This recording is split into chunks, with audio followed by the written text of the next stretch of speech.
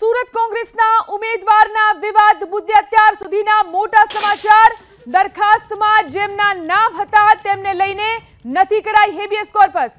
અને નિલેશ કુંભાણીના ત્રણ ટેકેદારો પૈકી એકનો સંપર્ક થયાની સૂત્રોની પાસેથી જાણકારી મળી. ત્રણ પૈકી એકને કલેક્ટર સમક્ષ રજૂ કરી અને ફોર્મ મંજૂર રાખવાની વિનંતી કરાશે. તો આ તરફ ઉમેદવારે ટેકેદારોનું અપહરણ થયાનું રટણ કરતા સુરત ક્રાઇમ બ્રાન્ચને તપાસ સોંપવામાં આવી છે. દરખાસ્ત કરનાર ચાર પૈકી ત્રણ લોકો નિલેશ કુંભાણીના સગા અને નજીકના છે. જગદીશ સાવલિયા નિલેશ કુંભાણીના બનેવી છે. તો ધ્રુવીન તેમનો ભાણેજ અને રમેશ પોલરા તેમના ધંધાકીય ભાગીદાર છે. આજે ચૂંટણી અધિકારીએ આ અંગે સુનાવણી રાખી છે. કોંગ્રેસ ઉમેદવારનું ફોર્મ માન્ય રાખવું કે નહીં તે અંગે નિર્ણય લેવાશે. આ વિશે વધુ જાણકારી મેળવી અમારા સંવાદદાતા ધનરાજ આપણી સાથે જોડાયા છે. જી, ધનરાજ, શું લાગી રહ્યું છે? અગિયાર વાગે શું નિર્ણય આવી શકે છે આ વિવાદમાં? જી, બિલકુલ સૌથી મોટા સમાચાર એ સામે આવી રહ્યા છે કે સમગ્ર તપાસ છે, હવે ક્રાઇમ બ્રાન્ચને સોંપી દેવામાં આવી છે અને જે ત્રણ ટેકેદારો હતા તેમની શોધખોળ કરવા માટેના આદેશ કરાયા છે, ત્યારે એક મહત્ત્વની કડી સામે આવી છે. સૂત્રો પાસેથી માહિતી મળી રહી છે. તે મુજબ એક ટેકેદારનો સંપર્ક થઈ ચૂક્યો છે અને એ ટેકેદારને લઈને અત્યારે કોંગ્રેસ છે એ કલેક્ટર કચેરી પહોંચશે. તે પહેલાં જે વકીલ છે વકીલ સાથે વાતચીત કરીશું. મારો ડિફેન્સ મારાથી નહીં ઓપન થાય અત્યારે હું આર્ગ્યુ કરી દઉં પછી બધી તમને અડધો કલાકમાં બધી માહિતી આપી દઉં એક ટેકેદારનો સંપર્ક થયો ખરો? અત્યારે કંઈ નહીં અત્યારે નહીં. હા. બિલકુલ જોઈ શકાય છે. અત્યારે જે માહિતી મળી રહી છે તે મુજબ કોંગ્રેસ છે એ અત્યારે એક ટેકેદારને લઈને કલેક્ટર કચેરી પહોંચે તે પ્રમાણેના સમાચાર છે, સૂત્રો પાસેથી મળી રહ્યા છે. ત્રણ પૈક અને મને જે જાણકારી છે એ પ્રકારે રાત્રે એક વાગે એક વાગે ઉમેદવારના ત્યાં નોટિસ પહોંચાડવામાં આવી છે અને એ નોટિસ લગાડવામાં આવી છે જે ઉમેદવાર છે એના ઘરે કલેક્ટર ઓફિસ તરફથી કે તમારે અગિયાર વાગ્યા સુધીમાં તમારા સમર્થકોને હાજર કરવા પડશે. જો હાજર નહીં કરો તો તમારું ઉમેદવારી પત્રક રદ થશે. હું ફરીથી કહું છું નિલેશ કુંભાણીના નિવાસસ્થાને આ નોટિસ કરવામાં આવી છે અને સ્વાભાવિક રીતે જ દિનેશ દિનેશભાઈ આવે છે. દિનેશભાઈ એક સેકન્ડ દિનેશભાઈ ઓ દિનેશભાઈ ઓ દિનેશભાઈ એક. દિનેશભાઈ દિનેશભાઈ એક સેકન્ડ એનો કોઈ contact અમને તમ- તમને કેવી રીતે ખબર પડી કે આના ટેકેદારો ફરજી છે? જે એ લોકો જ આવીને જાતે આવીને એ લોકો રજૂઆત કરી કે કે અમે જે સહી કરી છે તે અમે નથી કરી એ સહી ખોટી છે એવી જાતે આવી એફિડેવિટ આવીને કરીને આવી ગયા તમે તમે એક સેકન્ડ તમે પહેલા વાંધો ઉઠાવ્યો કે એમને એ લોકો આવીને રજૂઆત કરી ગયા છે એટલે અમને ખ્યાલ પર આવ્યું કે એની સહી ખોટી છે. એમને રજૂઆત કરી તો કલેક્ટર જાતે કોલ લે ને? કલેક્ટર પાસે આવ્યા હતા હું એ જ કહું કલેક્ટર જાતે કોલ લીધો કે તમે અરજી કરી? લોકો જાતે ડાયરેક્ટ જાતે આવ્યા છે ને જાતે રજૂઆત કરી છે. એ એ લોકોએ રજૂઆત કરી છે એને ધ્યાનમાં રાખીને અમે વાંધાજી લીધી છે. ભારતીય જનતા પક્ષ તરફથી આ અરજી કરવામાં આવી હતી. ભારતીય જનતા પક્ષ તરફથી અરજી કરવામાં આવી હતી અને જેમને અરજી કરી હતી એ અહીંયા પહોંચ્યા છે. આપણે જોઈ શકીએ છીએ. આ છે ડેપ્યુટી મેયર જેમના થકી અરજી થઈ હતી અને આખો આ ખેલ થયો છે. પરંતુ ધનસુખભાઈ રાજપૂત મારી સાથે જોડાયા છે. ધનસુખભાઈ સાથે પણ વાત કરીશું. ધનસુખભાઈ સાથે પણ વાત કરીશું. ધનસુખભાઈ, આખી વાત મને વિગતવાર સમજાવો. ખરેખર ચાલી શું રહ્યું? ખરેખર જે ભારતીય જનતા પાર્ટીની કોન્સ્પિરન્સી છે, એમાં આ બધા જે અમારા મતદાર અમારા જે ટેકેદારો છે, તેની સાથે કંઈક થયું છે અને એ ટેકેદારોને ગાયબ કરવામાં આવ્યા છે. અને એને મેળવવા એમને કોન્ટેક્ટ થઈ ગયો છે અને એ નહીં પણ આવે, તો Congress party as a Congress party candidate Congress પાર્ટીનો કેન્ડિડેટ છે. કોઈ દસ ટેકેદારોના સહીથી થયો નથી. પાર્ટી આખરે પાર્ટીની પાર્ટીની મર્યાદા છે. કહો આ સંપર્ક થઈ ગયો કે નહીં ઠેકેદારનો? સો ટકા એક ટેકેદાર ઉમેદવાર બધાની સાથે વાત થઈ ગઈ છે અને એની કામગીરી અમારા જે બ- કાર્યકારી અધ્યક્ષ છે દિનેશ સાવલિયા એમને સોંપ્યું છે અને એ એમની રીતે બધો પ્રયત્નમાં છે જે ટેકેદાર મ- ઠેકેદાર મળી ગયા ખરા તમને લોકોને? મારે અગિયાર વાગ્યા સુધીમાં જે કંઈ પુરવાર કરવાનું છે તે અમે કરીશું એમ. પણ ઠેકેદાર મળ્યા ખરા? અમારો જે કાર્યકારી અધ્યક્ષના કહેવા મુજબ એ થઈ રહ્યું છે. મને એ સમજાવો.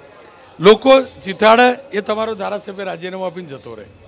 તમારો ઉમેદવાર ફોર્મ ભરે એનો સગ્ગો બનેવી ટેકેદાર હોય અને એ એમ ક્યાંક મેં સિગ્નેચર નથી. ચાલી શું રહ્યું છે? તમે દર વખતે બીજેપી ન કહો ક્યાંક તમારામાં તો કચાશ છે. સાહેબ સામદાન દંડ ભેદ જ મેઇન છે સાહેબ. સામદાન દંડ ભેદ જ ચાલે છે. પણ દંડ અને ભેદ તમારા લોકોને જ કેમ લાગુ પડે તમે આખા દેશમાં તમે જો છે કે કોંગ્રેસને ખતમ કરવાની જ વાત કરવામાં આવે છે ને આખા આખા દેશમાં. પ્રધાનમંત્રીના મોડે પણ એમ જ કહ્યું કે કોંગ્રેસ ખતમ થઈ ગઈ છે કોંગ્રેસ ખતમ થઈ ભાઈ ખતમ થઈ ગઈ તો એની ચર્ચા કેમ કરો છો? તમારા જ નહીં જુઓ મને એટલું કહો ફોર્મ તમે પણ ઉમેદવારી કરેલી તમે પણ ઇલેક્શનો લડ્યા. ટેકેદાર ફોર્મ ભરતી વખતે હાજર રહે કે ના રહે. કરવામાં આવ્યું જ છે પણ જે રીતે એટલી બધી ભીડનો માળો હતો જે એ દિવસે ઉમેદવારોને તે દિવસે આ અને અમે અમારે જે કંઈ બી અમારે જે પ્રક્રિયા છે તેમાં અમે ફૂલફિલ કરી છે. ધનસુખભાઈ કોંગ્રેસના જ એકદમ પ્રમાણિકતાથી વાત કરજો. કોંગ્રેસના કાર્યકર્તાઓ આ ચર્ચા કરતા હતા સેટિંગ થઈ જશે સેટિંગ થઈ જશે. તમારી જોડે આવી વાત આવતી જ નહોતી આવતી. સી મારી વાત સાંભળો એક એક એવું બનતું હોય છે કે હું કોઈ એક જ સીટ માટેના બે ઉમેદવારો હોય ત્યારે પાર્ટીને આવી કોઈ વાતો થતી હોય ત્યારે શંકા કુશંકા પેલી રીતે ના જોવામાં આવતી હોય. ત્યારે એમ જોવામાં આવતું હોય કે આ ઉમેદવારી કરવા માંગે છે એટલા માટે આવી વાત એ એક એક તટસ્થ વાત કરું છું. તમને નહીં લાગતું કે એફિડેવિટ કરાવવું પડે પહેલેથી કે ભાઈ હું પાર્ટી નહીં છોડું કે આવું નહીં કરું? જે બધું ભારતીય જનતા પાર્ટી શીખવે છે તે કરીશું. અત્યાર સુધીમાં હવે આવા અત્યાર સુધીમાં આવા કોઈ ઉમેદવારો બાબતમાં આવી કોઈ વાત કરવામાં આવી નહીં હતી. ખેર આ સ્થિતિ છે કોંગ્રેસની.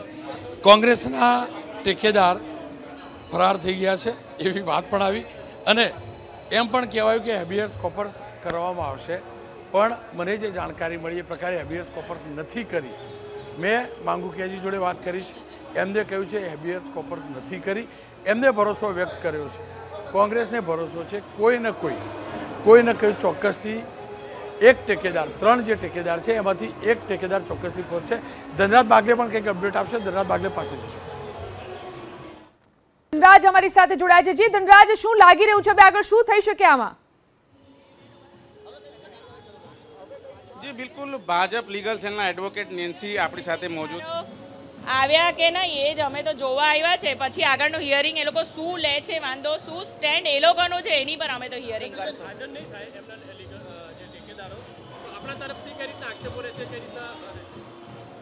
આક્ષેપનો કોઈ સવાલ નથી. આજે તો અમે વકીલ તરીકે આવ્યા છે. એટલે જે આચાર સંહિતા લાગે અને એના જે નિયમ હોય ફોર્મ ભરવાના એ રીતે જ આગળ કાર્યવાહી કરશું. કે એક ફોર્મમાં એક ટેકેદાર જોઈએ અને એ જો હાજર નહીં હોય તો એ રીતે ડીએમ જે કહેવાય ડિસ્ટ્રિક્ટ મેજિસ્ટ્રેટ ચૂંટણી અધિકારી જ કાર્યવાહી કરશે. અમારે જો કોઈ હિયરિંગ કે કોઈ અરજી લખવાની જરૂર પડે તો અમે આવ્યા છે.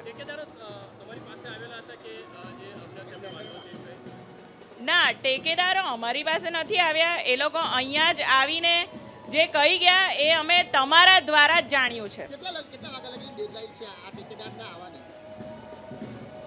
અગિયાર વાગ્યા સુધી. મારું જે લીગલ નોલેજ છે એ પ્રમાણે ટેકેદાર વગરનું ફોર્મ કે ફોર્મમાં કોઈ ભૂલ હોય તો તેનાથી સુરત કોંગ્રેસના જે સ્થાનિક નેતા કાર્યકર્તાઓ છે એમના માનસ ઉપર શું ફરક પડ્યો છે જાણીશું? વિપુલ મને જણાવો. પ્રમાણિકતાથી કહેજો ખરેખર થઈ શું રહ્યું? થયું એવું છે કે ગઈકાલે ઓપોઝિશન એટલે કે સામેવાળા પક્ષે એવું રજૂ એ બરાબર. ખરેખર હાલ શું ચાલી રહ્યું? હાલ એવું છે કે આજ ચૂંટણી અધિકારી શ્રીએ ગઈકાલે અમારી પાસે જે માંગણી કરી હતી કે ભાઈ તમારા ટેકેદારો અને તમારી જે પણ રજૂઆ એ ઓપોઝિશને જે વાંધો તે વાંધો તમે અમને દૂર કરી આપો. પણ આ ત્રણ લોકોની સામે ગાયબ છે ગાયબ છે કિડનેપિંગ થયું. સંપર્ક થયો ખરો? તમને શું ઇનપુટ મળે? અમે ગઈકાલ સુધી અમારા સંપર્ક નહીં હતો પણ અમે અમ- હમણાં જે રીતે આખી રાત કાર્યવાહી કરી અને કાર્યવાહી લીગલ જે ઓપિનિયન લીધું ને એ ઓપિનિયન પ્રમાણે અમે આગળ વધી રહ્યા છીએ. ના આ ત્રણ જે ઠેકેદાર છે એ પૈકીનો કોઈનો સંપર્ક થયો ખરો? ધનસુખભાઈ કહેતા હતા કે વાયા વાયા સંપર્ક થયો. ખરેખર છે શું? અમે પોલીસ કમ્પ્લેન કરી છે અને એના આધારે અમારી સાથે એમના સગા સંબંધી જોઈએ એમનો સંપર્ક થયો છે ને એ સંપર્કના આધારે અમે આગળ કાર્યવાહી કરી રહ્યા છીએ. ખેર આપ જોઈ શકો છો. આ દિનેશ જો આવી ગયા, ઉમેદવાર ખુદ આવ્યા. ભાઈ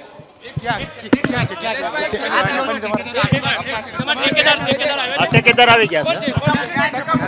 રમેશભાઈ સારોડિયા એની રીતે પહોંચી ગયા છે. ઉપર રમેશભાઈ સારોડિયા પહોંચી ગયા છે ટેકેદાર. એટલે અહીંયા પહોંચી ગયા કે તમે આવી ગયા અંદર આવી ગયા છે. રમેશભાઈ? રમેશભાઈ પોલરા. અને ક્યાં હતા? હવે એનો સંપર્ક એના ભાઈ દ્વારા આવી ગયો કે ભાઈ કલેક્ટર ઓફિસે પહોંચી જાય તમે પહોંચી જાઓ. એમને કહ્યું શું? તમારો સંપર્ક શું કહ્યું હશે? હવે આ સંપર્ક વિહોણા હતા એના ભાઈ દ્વારા કહેવામાં આવ્યું ભાઈ કલેક્ટર ઓફિસે પહોંચી જશે તમે ત્યાં પહોંચી જાઓ. ખેર મોટા સમાચાર આવી રહ્યા છે. મોટા સમાચાર એ છે કે એક ટેકેદાર નિલેશભાઈ કુંભાણીનો દાવો છે કે એક ટેકેદાર એમના અહીંયા પહોંચી ચૂક્યા છે.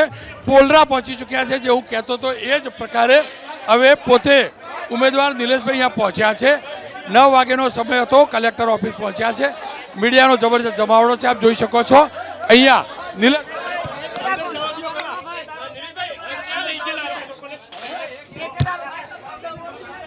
નિલેશ કુંભાણી નિલેશ કુંભાણી મોટા સમાચાર એ છે કે નિલેશ કુંભાણી અહીંયા પહોંચી ચૂક્યા છે. કલેક્ટર ઓફિસ નિલેશ કુંભાણી પહોંચી ચૂક્યા છે. તેમનો દાવો છે. પોલરા નામના પોલરા નામના જે એમના ટેકેદાર હતા, એમનો સંપર્ક થયો છે અને એ કલેક્ટર ઓફિસ પહોંચી ચૂક્યા છે. હું ફરીથી કહું છું, મોટા સમાચાર છે, મોટા સમાચાર એ છે કે નિલેશ કુંભાણી કલેક્ટર ઓફિસ પહોંચ્યા છે અને નિલેશ કુંભાણીનો દાવો છે કે એમના એક ટેકેદાર કલેક્ટર ઓફિસ પહોંચી ચૂક્યા છે. બાબુભાઈ માંગુ કે મારી સાથે છે બાબુભાઈ? બાબુભાઈ, હકીકત છે શું? અત્યારે નવ વાગે હિરિંગ છે. અને આજો આજો જી. જી અત્યારે મારો ટેકેદાર અને બંને જણા આવી રહ્યા છે. કેટલા ટેકેદાર આવી રહ્યા એક. કોણ છે ટેકેદાર? ટેકેદાર પોલરા છે લગભગ. પોલરા કે અને ક્યાં? હતા તમારો સંપર્ક થયો તમારી વાત થઈ? મારે વાત નથી આપ શું માનો હવે પ્રક્રિયા શું હોઈ શકે? અત્યારે હિરિંગ છે એને કલેક્ટરમાં કહેવાય છે એને સાઇન કરી છે કે નથી કરી. અચ્છા ટેકેદાર હા પાડે તો શું થાય ના પાડે તો શું ના પાડે તો ના પાડે તો પ્રોબ્લેમ થવાનો છે. તો બધું હિરિંગ થશે. અચ્છા હેબિયસ કોપર્સ કેમ નહીં કરી? આજે આજે હેબિયસ કોપર્સ કેમ નહીં કરી? ખેર અહીંયા અફરાતફરીનો માહોલ છે. પોલીસ પોલીસ કોર્ડન કરી રહી છે અને પોલીસ સ્વાભાવિક એની જવાબદારી પણ નિભાવતી હશે. પરંતુ સવાલ એ છે કે આ સ્થિતિ સર્જાઈ છે કેમ? આ સ્થિતિ કેમ સર્જાઈ? ગઈકાલે જે થયું, ત્યારબાદ આ સ્થિતિ સર્જાઈ છે. અને પોલીસ જે છે તે સ્વાભાવિક રીતે મીડિયાને એલાવ નથી કરતી અહીંયા. અને એના જ કારણે આ સ્થિતિ સર્જાઈ છે. પરંતુ હકીકત એ છે કે ટ્રાન્સપરન્સી કેમ? હું ફરીથી કહું છું, કલેક્ટર જ્યારે ઉમેદવારી ઉમેદવારી પત્ર ભરાતું હોય, તે એક એક એક સેકન્ડ નીકળું છું ને? નહીં, નીકળું છું. નહીં હું નીકળું છું. મહેરબાની કરીને મીડિયા જો ધક્કામુક્કી ન કરશો. અમે નીકળીએ છીએ.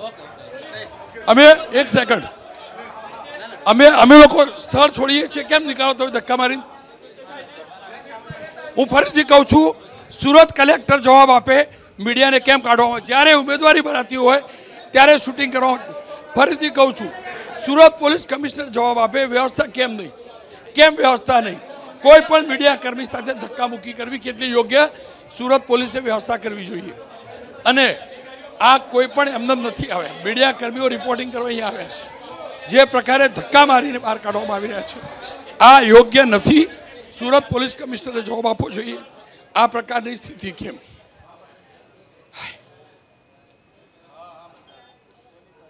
તો જે સ્થિતિ અહીં જોવા મળી રહી છે સુરત કોંગ્રેસ સમાચાર એ ઉમેદવાર છે બાબુભાઈ માંગુકિયા પહોંચ્યા છે. સાથે જ ખુદ ઉમેદવાર નિલેશ કુંભાણી પહોંચ્યા છે. બાબુભાઈ માંગુકિયાનો દાવો છે.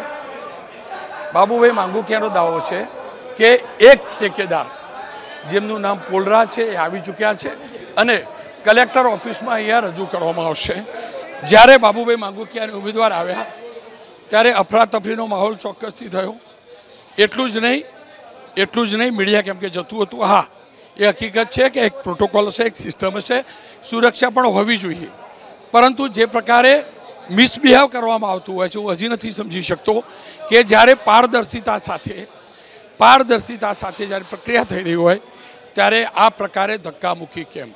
પોલીસ ચોક્કસથી રોકી શકે, વ્યવસ્થાના ભાગરૂપ હોઈ શકે, પરંતુ જે પ્રકારે અફરાતફરી ઊભી કરવામાં આવે છે, હું ફરીથી કહું છું, ઊભી કરવામાં આવે છે. મીડિયા ચોક્કસથી સંયમ રાખવો જોઈએ. સંયમ રાખવો જોઈએ હકીકત છે. પરંતુ જે પ્રકારે કોર્ડન કરી અને ધક્કા મારવામાં આવે છે, સુરત પોલીસ કમિશનરે જવાબ આપવો પડશે, મીડિયા કર્મીઓને ધક્કા મારવાનો મતલબ શું? શું કારણ હોઈ શકે? ફરીથી કહું છું, એ વ્યવસ્થા ચોક્કસથી હોવી જોઈએ.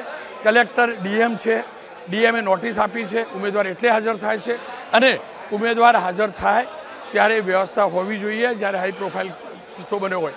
પણ જે પ્રકારે હું ફરીથી કહું છું, જે પ્રકારનું બિહેવિયર અહીંયા સુરત કલેક્ટર ઓફિસ ઉપર થઈ રહ્યું છે, એ કોઈ પણ હિસાબે ન ચલાવવું જોઈએ. હકીકત છે.